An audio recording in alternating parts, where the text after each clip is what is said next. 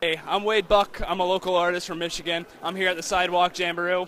It's a wonderful time, great art, great turnout. I think that uh, Detroit needs to have a lot more of these to boost up the artist awareness here in this community. There's a lot of artists that need a show, and things like this really bring us all together. It's a wonderful collaboration. I suggest for everyone to come down and check it out.